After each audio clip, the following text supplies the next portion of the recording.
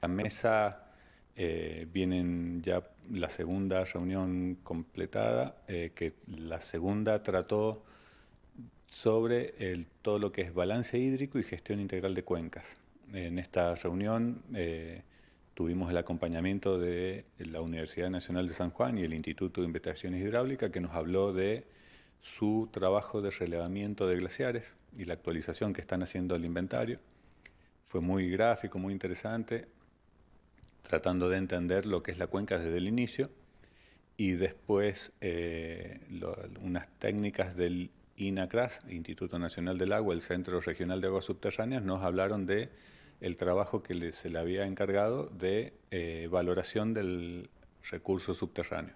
Estudiaron y actualizaron los datos de la, de la cuenca del Tulum, en los departamentos más cercanos a, acá eh, de, la provincia, de la ciudad, y eh, nos dieron un panorama de cómo está la disponibilidad de agua subterránea, pensando en que hemos estado haciendo uso del agua subterránea y al estar los diques ya no escurre libremente el río, entonces no, no tenemos la recarga natural por infiltración del río.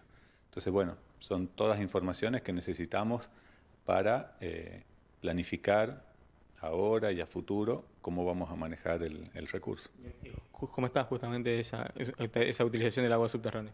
Bueno, eh, este, eh, para dar una idea, se valoró en 7.200 hectómetros cúbicos. este es el volumen aprovechable con las eh, infraestructuras actuales, con las actuales perforaciones, con la profundidad de los filtros como están y con las bombas eh, posicionadas en el lugar que están. O sea, ¿qué implica? Que es fácilmente disponible porque no hay que hacer inversiones adicionales. Si nos consumimos ese caudal, habría que hablar de profundizar bombas, modificar quizás algunas perforaciones y todo esto lleva más consumo eléctrico, más gastos en inversión. Eh, entonces, queríamos tener esa medida de cuánto eh, teníamos disponible. De ahí a, la otra discusión que se da es para cuántos años nos alcanza y esa es otra cuenta que no es tan sencilla. Eh, por ahí algún medio largó un número de 12 años. Lo cierto es que también este informe nos dice que del 2019 al 2021, en dos años, bajó 350 hectómetros. Llevándolo a los 7000 nos da, y en dos años, pero supongamos que eso hubiera sido en un año, son más de 20 años que tenemos disponibilidad a ese ritmo de consumo. Seguramente entren algunas perforaciones más en, uso eh, y, eh, bueno, quiero dejar claro que ante la emergencia el recurso subterráneo va, a seguir siendo usado.